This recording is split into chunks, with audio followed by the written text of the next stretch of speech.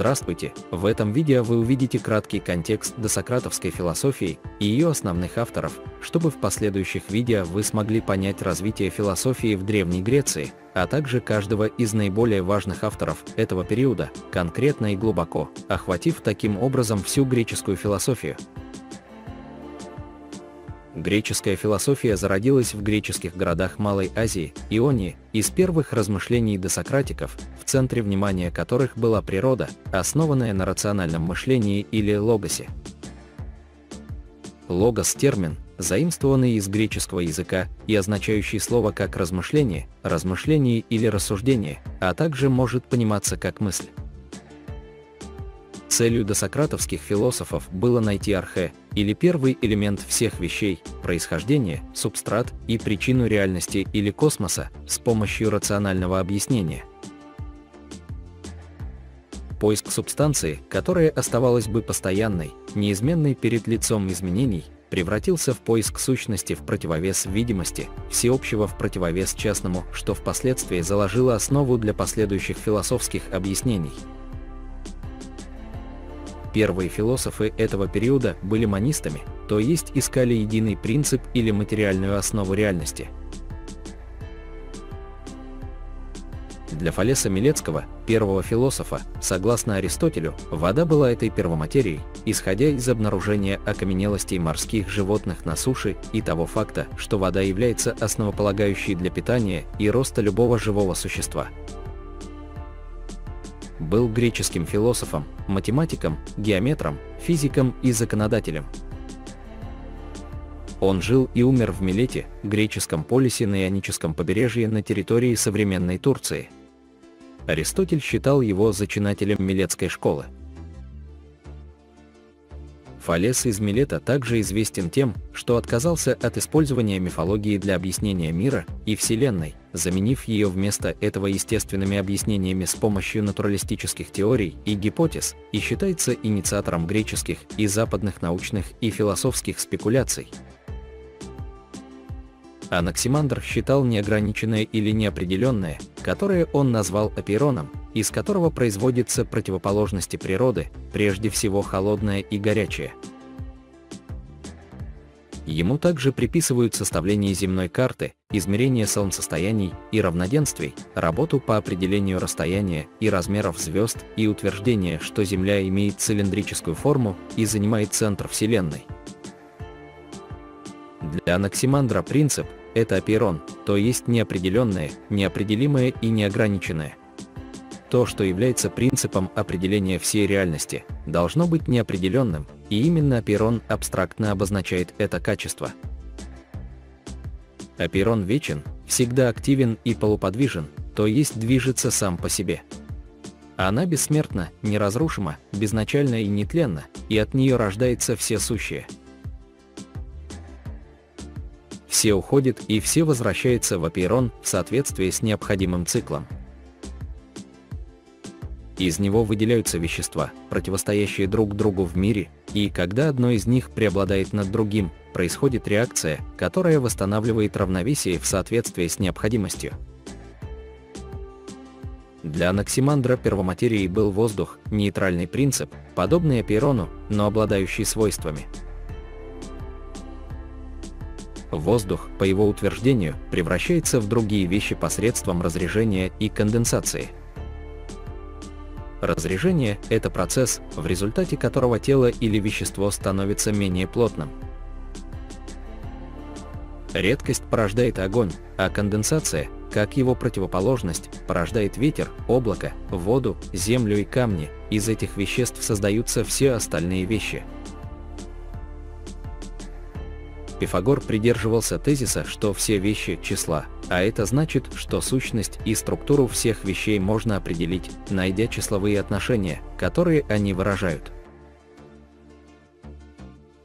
Пифагор также принадлежал к традиции софистов, придерживаясь новаторской идеи о бессмертии души и возможности переселения человеческой души после смерти в другие животные формы. Общее значение термина «софист» соответствует значению шарлатана или жонглера концепциями. Софист известен как специалист по риторике, который в Древней Греции занимался обучением значению слов. Софисты были группой философов в Древней Греции, которые преподавали в основном риторику в обмен на деньги. Гераклит, с другой стороны, рассматривал разумное становление Вселенной и постулировал разум, логос, как регулирующий принцип этого становления, поскольку он объединяет противоположности. Гераклит был досократовским греческим философом из Эфеса, города в Ионии, на западном побережье Малой Азии, на территории современной Турции. Работы Гераклита полностью состоят из афоризмов – Афоризм – это предложение, цель которого – выразить мысль в краткой, последовательной и, по-видимому, окончательной форме, афоризм точно очерчивает мысль. Он также был известен как темный из Эфеса и прорицатель, поскольку его стиль отсылает к предложениям дельфийского оракула и воспроизводит реальность двусмысленным и запутанным образом, используя оксюморон, антитезу и парадокс, чтобы дать представление о ней. Оксюморон в рамках литературных фигур в риторике является логической фигурой, которая заключается в использовании двух понятий противоположного значения в одном выражении, что порождает третье понятие – Учитывая, что буквальное значение оксюморона – противоположность, абсурд, например, во фразе «вечное мгновение» читатель или собеседник вынужден понимать метафорическое значение, в данном случае это мгновение, которое, благодаря интенсивности переживаемого в его течение, заставляет человека потерять представление о времени. С другой стороны, антитеза – это противопоставление двух противоположных или взаимодополняющих понятий – Парадокс или антилогика – это идея, логически противоречащая или противоположная тому, что считается истинным по общему мнению. В риторике это фигура мысли, которая заключается в использовании выражений или фраз, подразумевающих противоречие. Парадокс также позволяет продемонстрировать ограниченность человеческого понимания –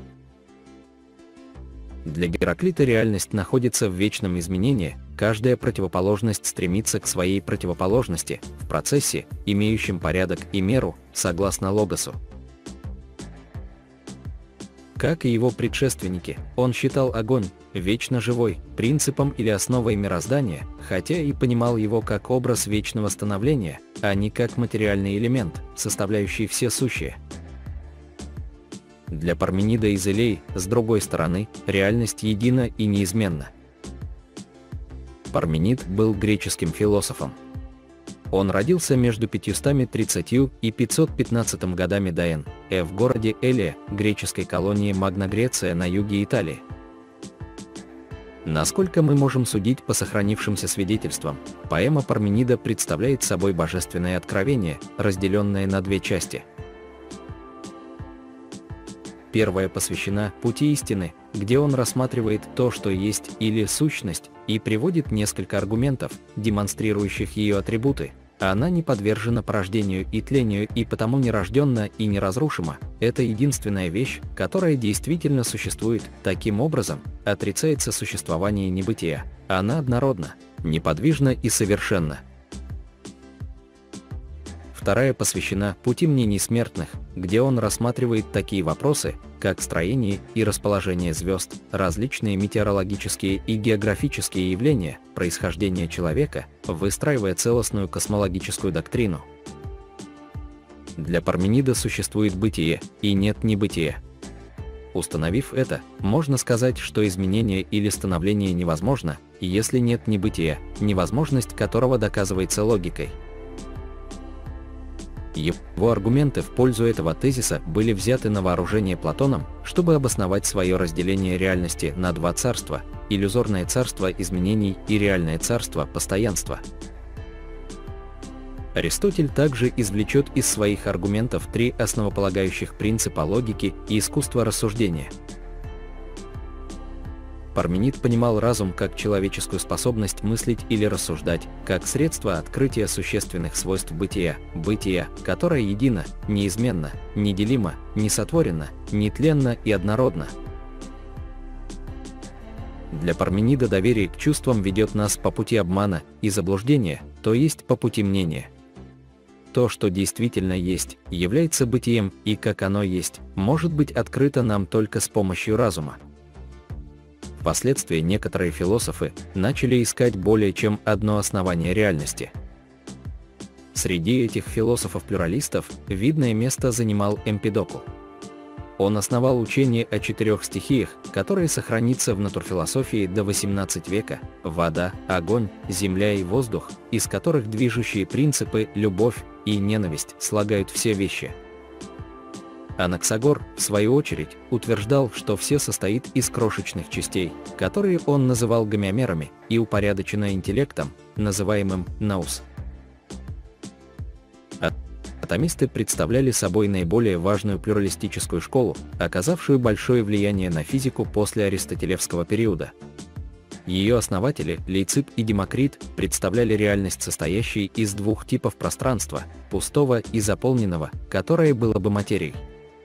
Последний состоит из атомов, которые, как следует из названия, являются неделимыми частицами – все видимые вещи состоят из атомов, связанных между собой, что объясняется их различной формой. Но эти связи возникают только тогда, когда они сталкиваются в случайных движениях в пустом пространстве. Следующее видео, в рамках древнегреческой философии, мы разберемся с классической греческой философией, софистами, Сократом, Платоном и Аристотелем, для просмотра других видео по истории, мифологии и философии посетите мой канал в описании видео.